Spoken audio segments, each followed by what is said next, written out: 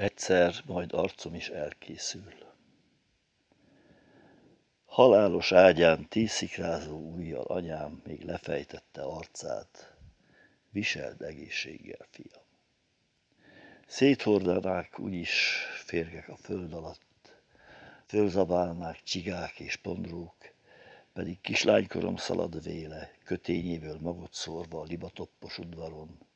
Keringnek benne az első bálok, pelenkamosások, jaj, de megvénült ez az arc is, fiam. Szinte nem is az enyém, oly messzire költözött. Idegen mosolyok rigják körbe, fekete kendős, kalapos bólogatók. Vigyetek innen már haza engem, fiam, eleget ültük a nyakukon. Lám, tel is tele az utak emberekkel, egymás sarkába hágva, hová türemlenek oly eszeveszetten.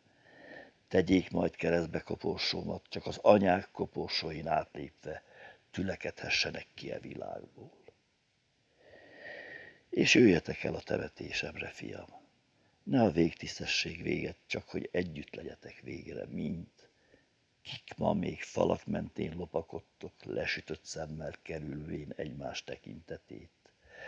Szikrázó szemmel álljatok körbe néha egy gödröt, hát ha megvillan oda fönt az ég. Simis csak arcod vissza, jó anyám, csupa vérző hús, szikrázó csont mögötte az idő. A te gyönyörű orcád régóta rásímult a tájra. Két szemedből szivárog a nyikó, a küküllő. Homlokod mögött a hargít a gyors, tarlásos, vészes boltja. Kislányos, vénült arcvonásaiddal mit kezdhetnék, anyám? Ma holnap hadba kell szállnom.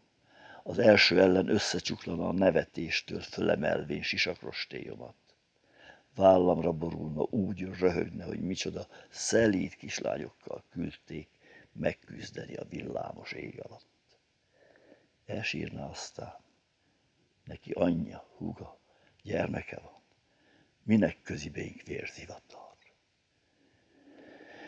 Billeg ujjait közt a húsjegy, kenyérjegy, búcsúzol anyám. Arcod a vizeké, füveké, köveké, magukra őköltik lassudan.